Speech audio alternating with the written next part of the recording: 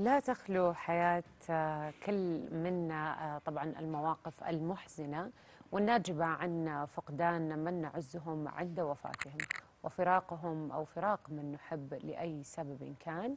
وأكيد هو ما يخلف بالتأكيد آه، موجة ألم صعبة أو صعب تحملها في الكثير من الأحيان. والحديث أكثر حول طرق تجاوز مثل هذا النوع من الألم. يسعدنا أن نرحب معكم مشاهدينا بضيفنا في الاستوديو الدكتور وليد السحيباني استشاري الطب النفسي. أهلا وسهلا فيك دكتور وليد. حياكم الله وحيا يا حيا المشاهدين الكرام. بداية خلينا نعرف علم النفس أو علم النفس لما نجي نتكلم عن الألم أو ألم الفقد بالتحديد دكتور. آه، ألم الفقد يحصل آه، من الاسم حين فقد يعني أي شيء. وهو يطلق بالعادة بالعادة على فقد آه، الإنسان في الغالب في الوفاة. نعم. وعبارة عن أعراض نفسية آه، يعني متتالية تحصل بعد آه، فقد أي شخص عزيز آه، على الإنسان. طبعا الأصل فيها أنها تعرف فقد إنسان. صحيح. طبعا آه، ممكن يشمل الفقد برضه أشياء أخرى. مثل فقد مثلا الإنسان لبعض الناس اللي يربون مثلا حيوانات إذا فقدوا آه، فقد مثلا وظيفة صح. آه، فقد علاقة مثلا أو صداقة نعم زي معينة فقد آه، مثلا مدينة معينة كان الإنسان عايش فيها بعدين انتقل إلى فقد فهو البيت في فقد البيت هذا كلها صح، قد صح. تندرج ضمن الأشياء اللي ممكن يكون من ضمنها فقد أو حزن الفقد مم. طيب دكتور وليد خليني أسألك ألم فقدان شخص بسبب وفاة ولا ألم فراق شخص رغم أنه حي؟ وش اللي أصعب نفسيا؟ ليست واحدة. بمعنى قد يكون فراق شخص حتى لو هو حي آه، أشد ألما على الإنسان. واللي يحكم في هذا علاقة الإنسان بالشخص ال- المفقود آه، سواء كان فقد عن طريق ال- الوفاة أو فقد بما أنه انقطعت العلاقة لأي سبب. تم إنهائها بأي سبب؟ مثلا آه، طلاق آه، في صداقة مثلا انتهت انتقال مدينة إلى مدينة زين ال- ال- القياس ليس واحد بمعنى أنه قد يكون فقد شخص حي أحيانا أكثر ألما لبعض الأشخاص واحيانا لا قد يكون لا ما هو مؤلم مثل فقد شخص مثلا ب- بالوفاة. يعني أنا دكتور وليد أحس أنه أكثر شيء فقدان إذا كان هو حي وعلى فراق. يعني ال- الفقدان الموت فهذا خلاص قدر ربي أنا بتعايش معه. مم. شهر شهرين يوم يومين اللي هو أنا بتعايش معه. بس الفراق يعني هي اللي أحسها هنا صعبة أن الواحد صعب أنه هو يفارق شخص أو صديقة أو زميلة أو أو أو حتى بيت أو أخوان يكونون معه.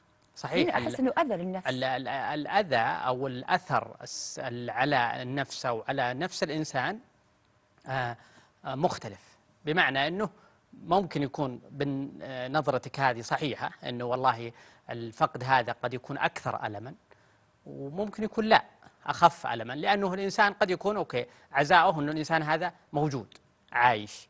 عزاؤه إنه والله ال- المدينة اللي أنا تركتها مثلا آه، إنها ممكن أزورها في وقت لاحق مثلا. ال- الصداقة اللي الآن انتهت أو إنها مثلا تقلصت بسبب مثلا لأي سبب ممكن إنها تعود مرة أخرى.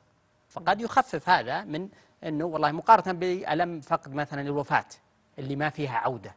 زين أحيانا لأنه ما فيها عودة اللي هي الوفاة قد تكون أكثر إيلاما عند البعض من الناس آه، مقارنة بفقد مثلا علاقة مثلا أو صداقة أو كذا.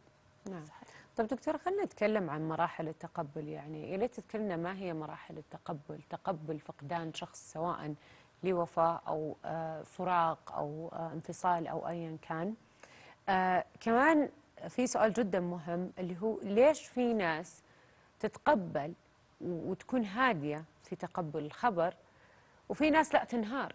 في ناس يجيها انهيار عصبي في ناس آه، ممكن آه، يعني تبدأ تصير آه، تخرف تبدأ تتخيل هذا الشخص معاهم جالس أو يحاكيهم أو يرد عليهم الص- الصوت. فيليت تفسر لنا إياها نفسيا؟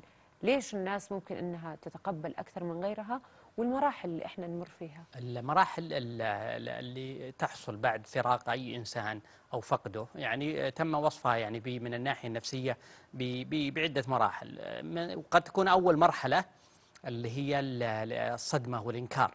بمعنى إن الإنسان أول ما يسمع الخبر ما يكون مصدق ما هو مستوعب إن هذا الشيء حصل.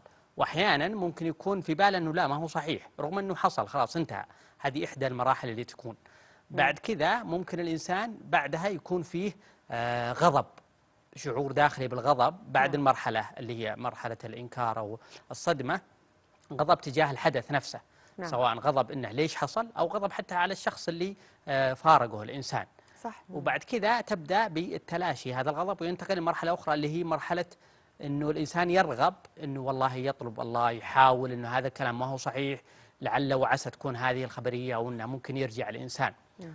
وبعد كذا يدخل الإنسان في مرحلة اللي هي الحزن ال- أو اللي يسمونها الاكتئاب وبعد كذا تدخل في مرحلة تقبل الوضع طبعا المراحل ذي ليس بالضرورة تحصل عند آه، جميع اللي يحصل نعم. لهم فقد حتى ممكن ما تحصل بالترتيب اللي ذكرته وكثير من الناس ممكن بعد الخبر أو بعد ما يسمعون الخبر يعني إلى حد كبير يتقبلونه بشكل سريع. زين؟ صحيح. وهذا وهذا يختلف حسب يعني آه، صلة مثلا ال- اللي اللي إن- انتقل إلى رحمة الله به مثلا. آه، أب أخو آه، والدة علاقتهم طبيعة علاقتهم مع بعض. كل هذه تلعب دور في نتيجة أو الأعراض اللي تحصل بعد الفقد. زين. واللي ذكرتيها أنت في بعض الناس ممكن أنه يتقبل بشكل سهل سلس ما يكون عندهم أي أعراض أو نعم. ما يتعبون بشكل كبير من الناحية النفسية. وفي ناس لا قد يكون ال- الفراق أو أثر يعني هذا الحدث عليهم جدا يعني متعب ومؤلم. زين؟ نعم. طبعا إيش اللي يختلف؟ ليش هذا الإنسان يختلف؟ حتى أحيانا تلقاها مثلا بال بالأخوان مثلا أو الأخوات مثلا إذا فقدوا والدهم أو والدتهم. زين؟ لأنه إحنا ك- كبشر تركيبنا النفسي يختلف. و, و يعني تقبلنا ل- لما يحصل لنا من أحداث وأثرها النفسي علينا ما هو بواحد. زين. الأصل إنه نكون متشابهين. الأصل إنه يكون ال- ال- التقبل هذا هو النتيجة النهائية. لكن متى يحصل التقبل؟ بعض الناس قد يح- يأخذ آه، يعني أيام بعض الناس يأخذ أسابيع بعض الناس يأخذ أشهر أو سنين. سنوات لتقبل هذا الوضع الجديد.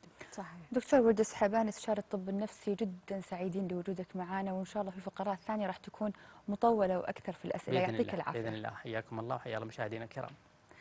مشاهدينا في ختام حلقتنا نذكركم في المشاركة في استفتاء برنامج سيدتي من خلال الهاشتاج الظاهر أمامكم على الشاشة. نشوفكم غدا بإذن الله.